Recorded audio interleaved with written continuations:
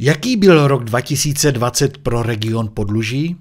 Jaké projekty se mu podařilo uskutečnit? Na tyto a další otázky odpovídal předseda spolku Vojtěch Pospíšil. Rok 2020 v našem, našem spolku regionu Podluží hodnotím prakticky stejně, tak jako určitě kolegové i já jako starosta za obec, eh, s tím, že byl stižen nemocí COVID-19. Eh, to, co se nám podařilo z největšího, tak eh, obdrželi jsme dotaci od Jihomoravského kraje na, na údržbu našich alejí, takže toto se nám povedlo. Jsme za to rádi a děkujeme Jihomoravskému kraji za ty, za ty prostředky. Co, co, co nás velmi mrzí, tak samozřejmě nemohly proběhnout naše, naše folklorní přehlídky, které byly nejdříve přesunuty, nakonec musely být i zrušeny, takže tuto záležitost, tuto, tato záležitost mě mrzí ale nicméně muselo k tomu dojít a nic s tím bohužel nenaděláme a v příštím roce předpokládám, že snad už bude líp. A tím, že jsme se některé měsíce i nescházeli, tak vlastně ten region Podluží jel v tom, v tom eh, udržovacím módu. Samozřejmě nakoupili jsme, nakoupili jsme nějaké propagační materiály regionu Podluží, které region Podluží eh, postrádal ale víceméně, víceméně jsme jeli v, tak, jak, tak, jak jsem uvedl, vlastně v tom, v tom, eh, v tom módu udržovacím. Lužice jsou součástí od založení, součástí regionu Podluží. Eh, jsou na to názory různé, eh, nicméně domnívám se, že eh, region Podluží funguje, že má svůj význam, že má svůj smysl.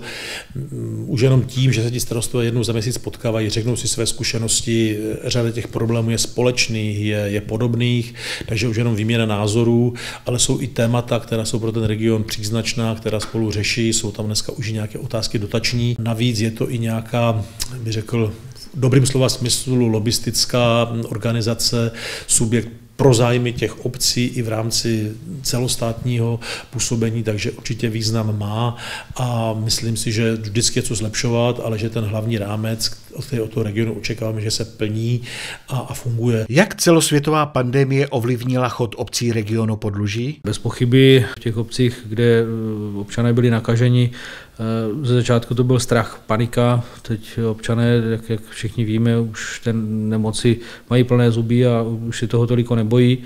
eh, tak ten dopad má především na společenské a, a, a, a psychické soužití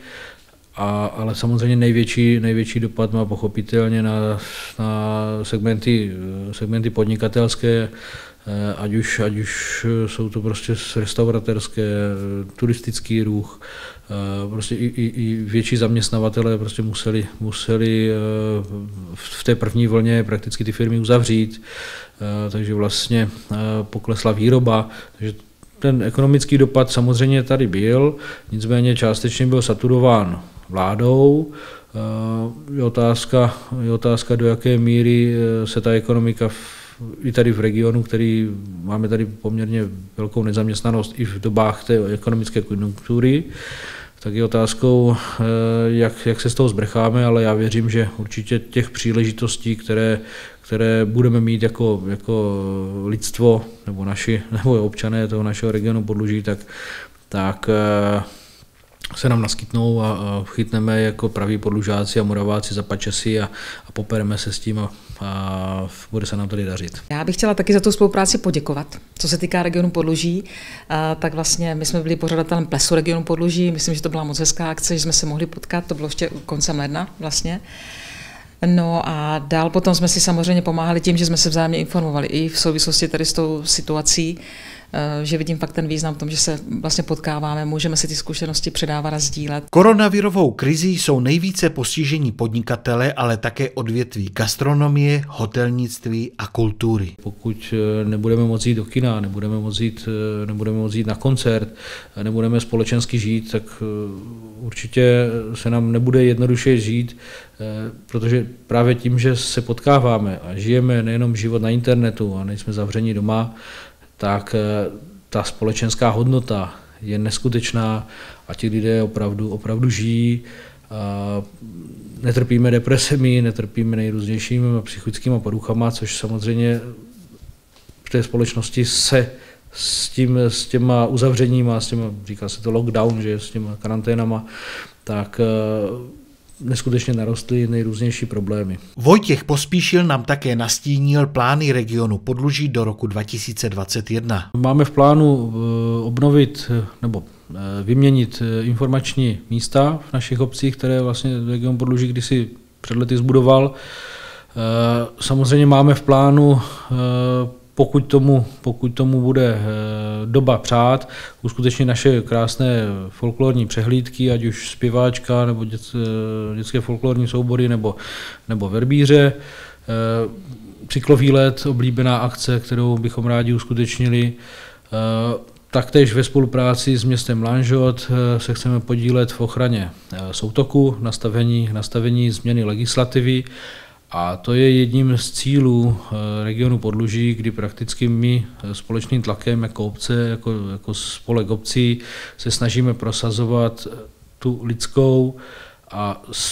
snad předpokládám, že správný pohled nebo správný pohled na samozprávu, kdy jsme tady pro ty naše občany. Svazek regionu Podluží už více než 20 let združuje obce, které vzájemně spolupracují jak na rozvoji kulturním, tak tom komunitním. V minulosti, v minulosti se nám podařilo několik takovýchto záležitostí, kdy se na základě společného tlaku podařila zrealizovat cesta, eh, cesta na Břeclavsku eh, z Moravské Nové Vsi až, až do Lanžota. Eh, ohledně veřejně prospěšných prací, tak tady jsme významně, významně tomu přispěli, že byly obnoveny. V letošním roce jsme s ostatními starosty z celé republiky se snažili tlačit na vládu, aby nám kompenzovala nám obcím vlastně výpadky z příjmů z rozpočtového určení daní, do, do jisté míry jsme byli eh, úspěšní, ale každopádně, každopádně ne natolik, kolik bychom si přáli, protože náš stát se zadlužil do výpadky, výpadku plných příjmů a samozřejmě, eh, samozřejmě eh, na obce a kraje byl rád zapomněl. A kdybyste měl zhodnotit dosavadní fungování spolku, jak jste spokojen? Já spokojen jsem velmi, protože já si velmi vážím toho, že, můžeme, že se můžu potkávat se svými kolegy eh, a vyměňovat si zkušenosti, anebo pokud je nějaký problém, tak společně tento problém řešit, anebo, anebo eh, si dávat návod, jakým, jakým způsobem toho dosáhnout, eh, protože nikdo učený z nebe nespadl. Vždycky, vždycky ten, jak, ať už je to obec, nebo region, nebo firma, vždycky všechno může fungovat lépe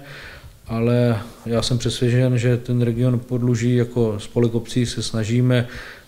tlačit tím společenským a, a vzájemným směrem a předpokládám, že ti lidé, kteří to chtějí vidět, tak to vidí. Já musím tu spolupráci hodnotit velmi kladně. Ono se hodně rychle zapomíná. Já třeba říkám, region Podluží není o investičních eh, akcích, je to prostě spíš o těch eh, drobných věcech a předávání zkušeností a poznatků nejen mezi eh, starosty, ale i o té kulturní výměně e, mezi občany. A my silně teda podporujeme hlavně děti a mládež e, v té kulturní oblasti, protože to je to gro, co bychom tady měli držet ale já se vrátím třeba i k těm investicím, že spousta lidí zapomněla, že eh, kdyby nebylo tlaku regionu podluží na rekonstrukci té cesty od Moravské Nové Vsi po Lanžot, když jsme se všichni za jedno, byť se to některých obcí samozřejmě na Hodoninsku, které jsou členy regionu netýká, tak eh, možná ta rekonstrukce ještě neproběhla. A to teď možná znovu budeme iniciovat i na tu rekonstrukci té vozovky od toho Husárového po ten střed teda tvrdonic, protože jsme e, vlastně takový malý obchvat v podstatě Břeclaví, kdy přes tvrdonice a, a Kostice jezdí, jezdí další, e, nebo ta těžká technika vlastně do té Břeclavy, pokud nebude obchvat té Břeclavy a e, určitě i v rámci regionu bude e, nejenom obchvat Břeclaví, ale plánuje se tam větší úpravy vlastně e, toho přivaděče směrem vlastně na Ostravu a tam výš té vozovky, takže i tam jednáme, protože se bude rušit nájezd vlastně u Husárového, bude to všechno jinak, takže se snažíme tam vybojovat vlastně co největší, pokud možno komfort komfort, aby jsme nemuseli najíždět někde v Moravské Nové Vsi, anebo jezdit jenom třeba přes ty kostice. Takže to jsou takové drobné věci, které, které i v rámci toho regionu drobné, ale administrativně a časově velmi eh, náročné jednání se všemi úřady, takže i to jsou věci, které třeba ty občané nevidí, ale, ale prostě eh, snažíme se i v tomto víc vstříc a ty věci, které Eh, jsou viditelné, tak to teď vlastně na podzim eh, proběhlo, proběhla v rámci dotace přes region úprava a dosadba vlastně té alejové části směrem k hruškám těm, těm těch líp. Region je za, založen na, hlavně na folkloru, co se podporuje folklorní stránka věcí sportovní, takže myslím si, že v tom je ta síla a co se týká toho regionu jako takového, tak samozřejmě za mě jsou to obrovské klady, protože ten přínos a výměna na těch eh, vůbec zkušeností starostů a vůbec směrování toho regionu, eh, myslím si, že na velice dobré úrovni. Vážení spoluobčané, milí podlužáci i hanáští Slováci, ze srdce vám přeju v novém roce pevné zdraví, lásku, štěstí, boží požehnání, rodinnou pohodu, aby se vám dařilo ve vašich profesích. A věřím, že celou tady tuto nešťastnou záležitost z nemocí COVID-19 brzy překonáme a bude se nám dařit už jenom líp a budeme zase se na sebe moci usmívat s upřímnou radostí.